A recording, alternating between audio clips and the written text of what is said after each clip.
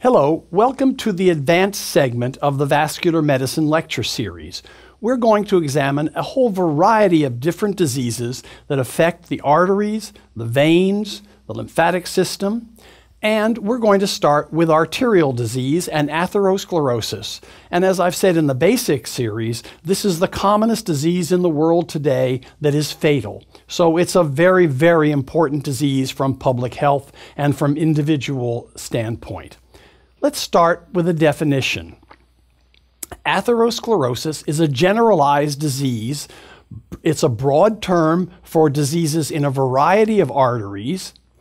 The artery wall thickens as a result of invasion and accumulation of white blood cells that lead to fibrosis and inflammation, uh, just as if there had been an infection. Cholesterol in the blood gets into the artery wall along with these white cells and sets off a whole reaction.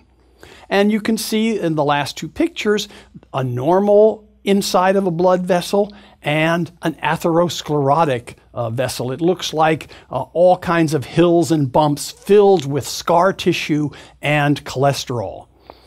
What happens when this uh, develops, atherosclerosis, the artery gradually becomes blocked blood flow is reduced. We can have ischemia or lack of blood flow, or one can even form a blood clot and totally obstruct the blood vessel with the resultant death of tissue beyond the area that has been blocked. In the heart, blockage of a coronary artery leads to a myocardial infarction or death of heart tissue, a heart attack, and this can possibly be fatal. Uh, it is one of the commonest events that we take care of in hospitals around the world. Let's talk a little bit about the epidemiology. I've already given you some clues. This is the number one cause of death in the world atherosclerotic disease. Atherosclerotic cardiovascular disease kills more people each year than a whole variety of well known other diseases such as Alzheimer's, accidents, and cancer. In the United States, over 152,000 Americans are killed by cardiovascular disease every year, and these are individuals under age 65. In 2002, 32% of the deaths from cardiovascular disease occurred prematurely, that is, before age 75. And 75 is pretty close to the average life expectancy in the United States.